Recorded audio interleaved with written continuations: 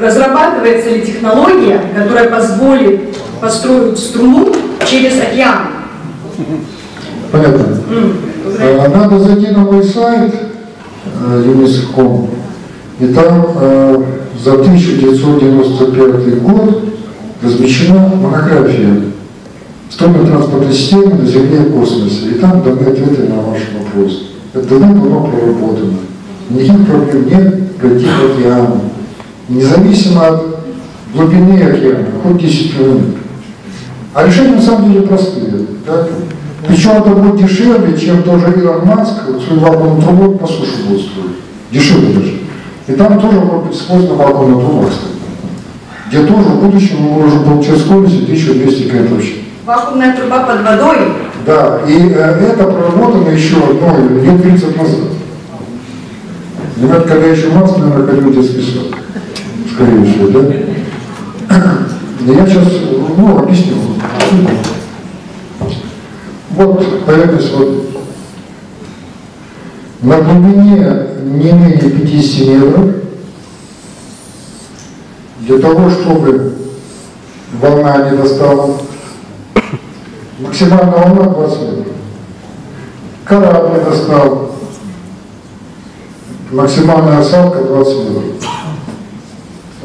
Поэтому где-то глубок не менее 50 метров.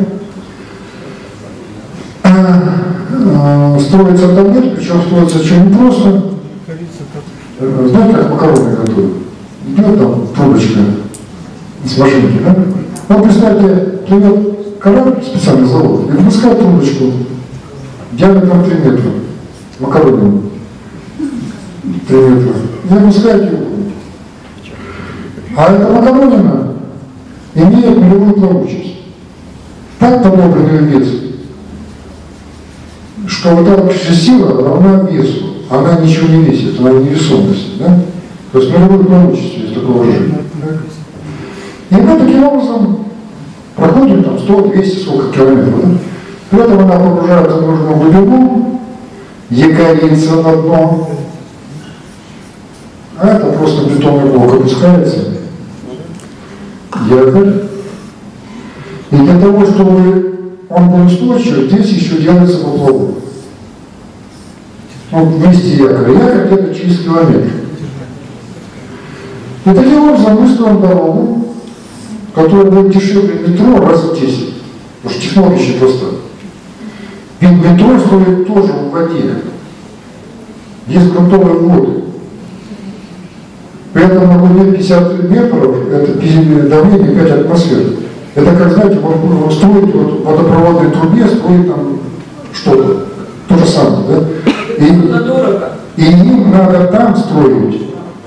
Не на поверхности же, ведь метро не получишь туда, да? Значит, там надо строить. При этом иногда приходится замораживать жидким азотом все это, чтобы потом долбить и строить. Представьте, как это безумно дорого? А здесь мы макаронину выпускаем и его нужную глубину это самое. Это строит на порядок дешевле, да? И вот мы два примера делаем, один туда, один обратно. А потом пускаем сюда скрываем. Если надо, потом в будущем можем откачать отсюда воздух. И уже другой ПТР состав, потому что будет разрежение, да, будет двигаться здесь большими скоростями. И это будет намного дешевле. Э, нет, так что скорее на суше будет дешевле, естественно, скорее. Но есть аналоги. Вот аналоги скоростные, также железнодорога.